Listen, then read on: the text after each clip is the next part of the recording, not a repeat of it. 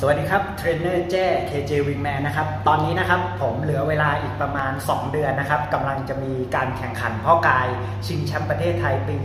2021 นะครับผม ซึ่งปีที่แล้วผมได้แชมป์มา ปีนี้เลยกะจะลงอีกสักหน่อยนะครับ มาดูกันว่า ปีนี้เด็กใหม่ ๆ ก็เท่าที่ผมส่องๆมาก็เก่งขึ้นเยอะนะครับ หุ่นหุ่นก็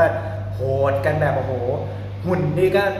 เรียกว่าเอาเรื่องเลยนะครับ เดี๋ยวลองมาดูปีนี้กันนะครับว่าผมจะได้ที่เท่าไหร่นะครับ ซึ่งบันทึกนี้คลิปนี้นะครับ ก็บันทึกหุ่นไว้หน่อยว่าช่วงนี้เป็นยังไงกันบ้างเดี๋ยวท้ายคลิปนี้นะครับ มาดูกันว่าเวลานี้ร่างกายผมเป็นยังไงแล้ว แล้วก็เดี๋ยวผมจะทำบันทึกไว้ดูความคืบหน้าเรื่อย ๆ แล้วกันนะครับ ผมมา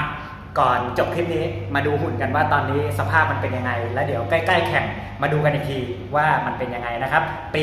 2021 เดี๋ยวมาดูอัปเดตกันเรื่อยๆ ครับผม ต้องถ่ายแนวตั้งนะครับ เนื่องจากว่าถ้าเกิดเป็นแนวนอนมันจะเห็นไปทั้งตัวโอ้ถือว่ายังบวมอยู่นะฮะตอนนี้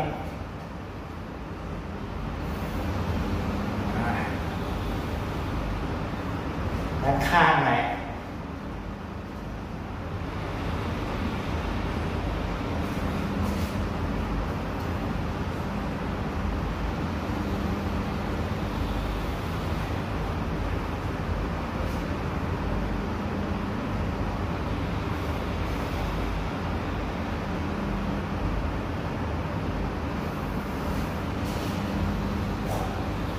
ตอนนี้ไขมันก็ยังถือว่าเยอะอยู่นะครับ นี่สำหรับผมนะยังถือว่าเยอะอยู่